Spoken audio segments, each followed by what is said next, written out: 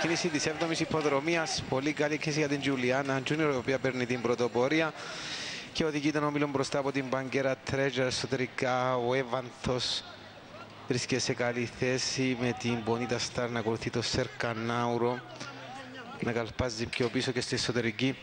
Βρίσκεται στο φαβορή Ευρυσέας, πλησιάζουμε το 800 με την Τζουλιάνα Τζούνιορ στην πρωτοπορία, όμως δέχεται πίεση από τον Μπαγκέρα Τρέζα εξωτερικά, ο Σερκανάουρος Μπονίτα Στάρ πιο πίσω πυκνός ο όμιλος στον πρωτοπόρο στο 600 με Τζουλιάνα Τζούνιος στην πρωτοπορία. Ο Σερκανάουρο κάνει προσπάθεια να περάσει στη δεύτερη θέση. Και πίσω Παγκέρα Τρέτζα και ο Ευριστέα τώρα με τις δυνάμεις.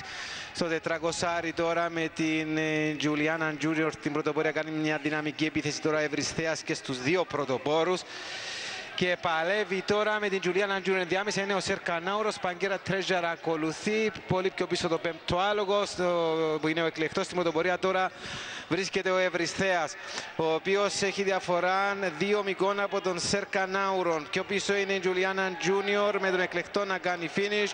Ευρισθέας έχει δυνάμεις στα δύο μήκη σταθερά μπροστά. Έρχεται με δυνάμεις τώρα εκλεκτός Ευρισθέας, όμως θα κερδίσει εκλεκτός. Πολύ κοντά του τελικά.